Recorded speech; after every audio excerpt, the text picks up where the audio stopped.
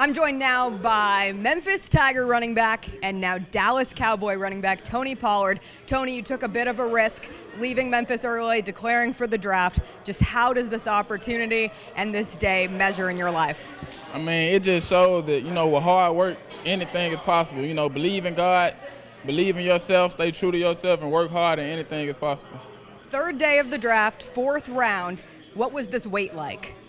I mean, it was crazy because I didn't know if I would go late day two or early day day three, but I knew it would be somewhere in between there, and I'm just I'm just glad everything turned out the way it did. The phone call finally comes in. Take me back to that moment. Man, it was crazy because I was at the house, I'm watching, I'm like, I'm like, why everybody crying? Like everybody crying when they get picked. But when I answered the phone, like my hand was shaking. I'm like, okay.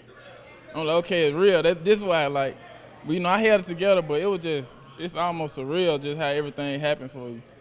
Being in Memphis, I've now come to learn that there are quite a few Cowboys fans here in this city. What do you have to say to your new fan base? Man, enjoy the ride because it's gonna be a good one. I'm just ready to get out there and show what I can do. What do you want the Cowboys and, and Cowboys fans to know about you as a player, Tony Pollard?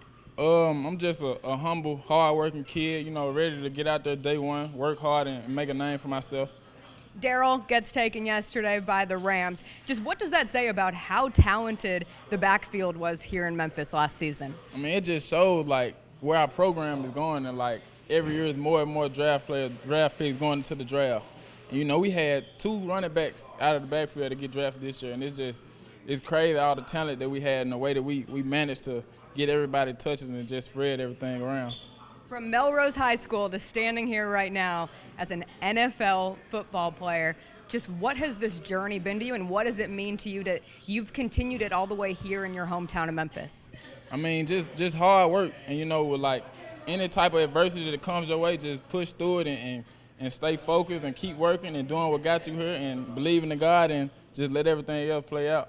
This is the second year in a row that two Memphis football players have been drafted. What would you say to future players and recruits about how the University of Memphis is a place where you can go and you can make your pro dreams come true?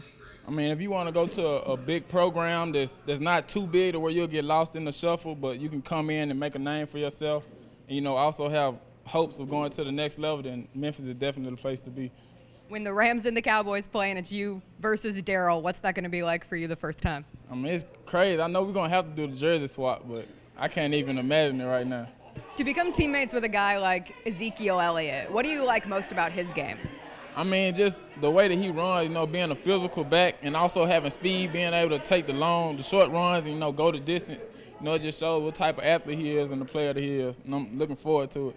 Is he a guy that you really think that you could learn a lot from? Yes, ma'am, most definitely. You know, just just being around the whole team, you know, especially guys like him, just learning what I can learn, and you know, just being myself and just going out there and doing what I do best. Did you grow up a fan of any team in particular being here in Memphis? Um, I grew up being a fan of the Ravens, you know, because my first team that I played for was the Whitehaven Ravens. So it was just the Ravens that stuck in my head, so the Baltimore Ravens. But, I mean, now that I'm at the next level, the Dallas Cowboys my favorite team right now. What did you know about the Cowboys growing up? Did you have any opinion on them, watching them play?